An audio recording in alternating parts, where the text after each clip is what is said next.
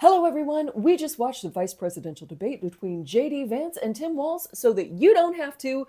You're welcome. You are the lucky ones. So lucky. Okay, let's start out with a few highlights from the debate. Uh, so, first up, quick question Did Kamala Harris turn children into drug mules? Some of them have been used as drug trafficking mules. The real family separation policy in this country is unfortunately Kamala Harris's wide open southern border. Well, I don't know that we can say for sure whether or not uh, Kamala Harris did make children into drug mules. Mm-hmm. But I can't say for sure that she will be considering it for the future. They both are, uh, Trump and Harris will be watching this debate. Try and see what plays well with the audience. Very focused on that future. Uh, number two, uh, a war seems like it's just about to break out in the Middle East, if it hasn't already, and it kind of has. Um, has. And, and so I think we can all agree that the most relevant question on this debate stage tonight was where exactly was Tim Walz during Tiananmen Square? Governor Walz, you said you were in Hong Kong during the deadly Tiananmen Square protests in the spring of 1989. But Minnesota Public Radio and other media outlets are reporting that you actually didn't travel to Asia until August of that year. Can you explain that discrepancy? All I said on this was is I got there that summer and misspoke on this. So I, I will just that's what I've said. So definitely he was during Tiananmen Square. He was nearby during somewhere when they I don't I don't know. No one can say. In Hong Kong, China, China, if you're voting Republican. Yeah. He was definitely thereabouts. A teacher. Thereabouts. That's not the important question, though, is it? Is it? No, it is. It oh. is. Oh, it is. Damn it. On to the next highlight. Uh, so J.D. Vance seems to be pretty accepting of the fact that his kids might get shot at school. Look, I, I, want to just sort of speak as a father of three beautiful little kids, and our, our oldest is now in second grade.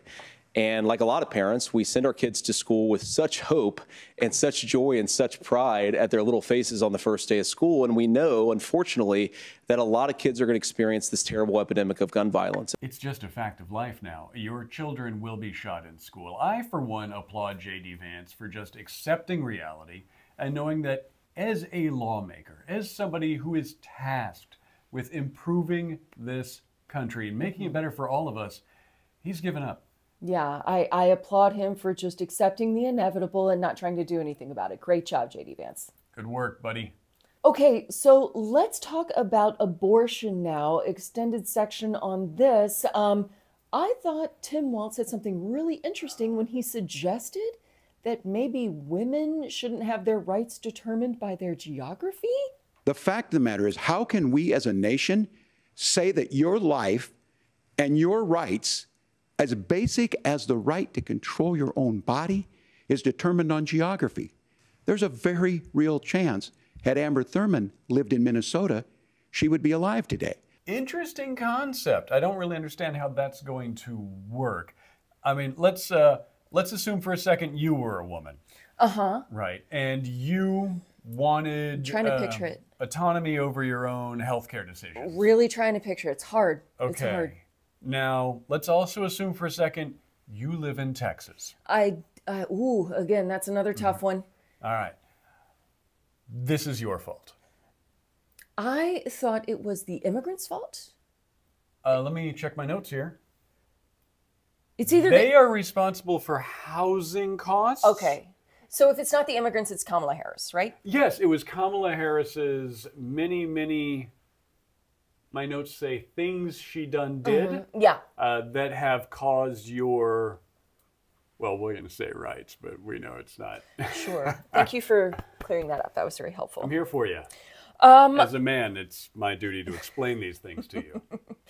Uh, one thing that I thought was interesting was that Vance seemed to acknowledge that people do not agree with him on this issue and frequently on other issues. I know a lot of Americans don't agree uh, with everything that I've ever said on this topic. Of course, you don't have to agree with everything that President Trump has ever said or ever done. They don't agree with me and Donald Trump on every issue. I mean, he makes a good case, but I just don't agree with him. Yeah, it's hard to agree with someone so disagreeable. Um, one thing that I thought was really interesting was when he said that the Republican Party needed to earn the trust back of people on uh, on the abortion issue. We've got to do so much better of a job at earning the American people's trust back on this issue where they frankly just don't trust us. We've got to do a better job at winning back people's trust. So many young women also see an unplanned pregnancy as something that's going to destroy their livelihood, destroy their education, destroy their relationships, and we have got to earn people's trust back. Austin, why do you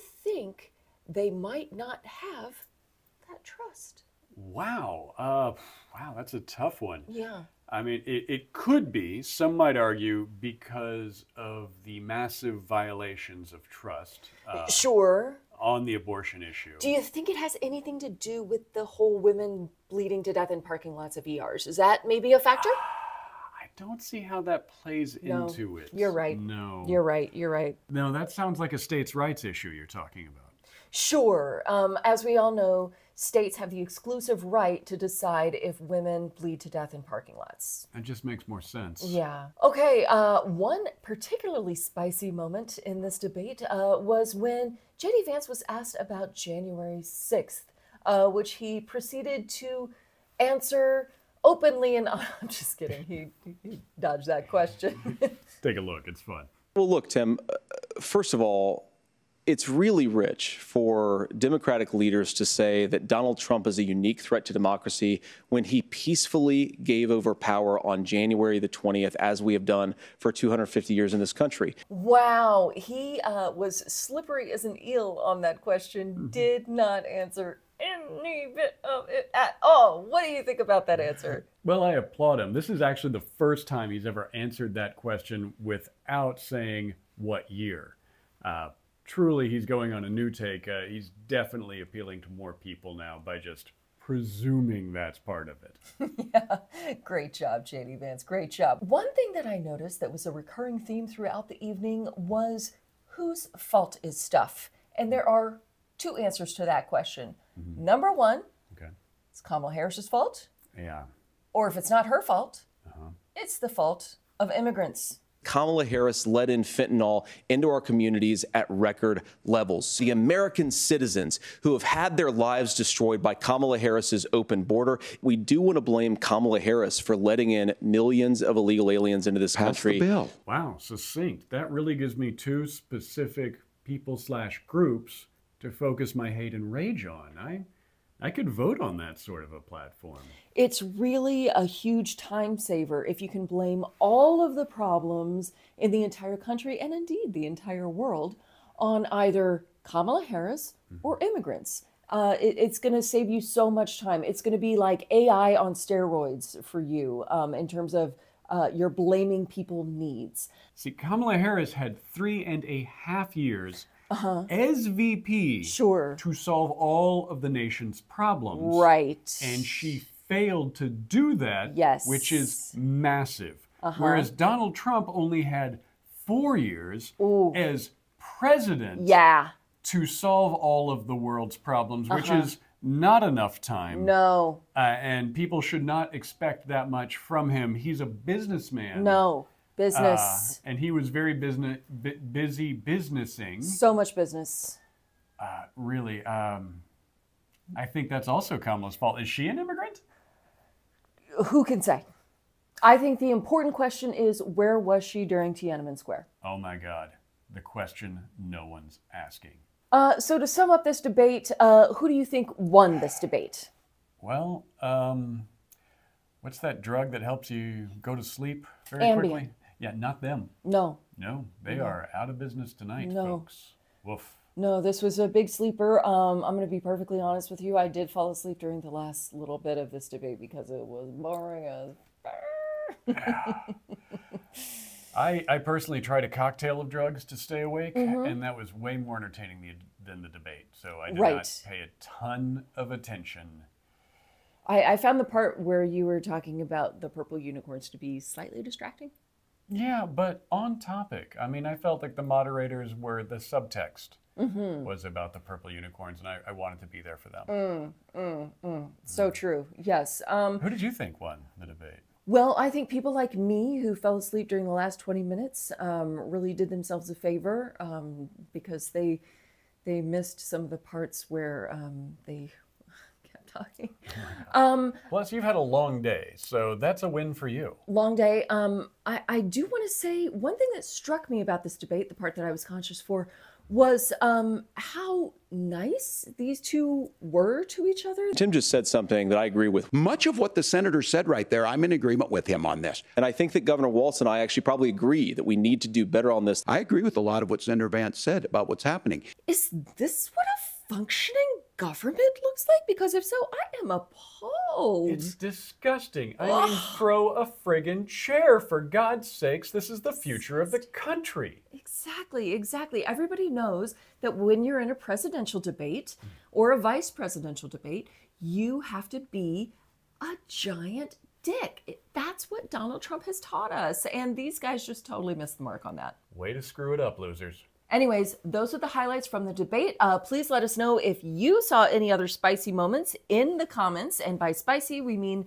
slathered in mayonnaise because nothing about this was spicy. It was uh, serene, if anything. Um, but if you saw another moment that really jumped out at you, tell us about it in the comments.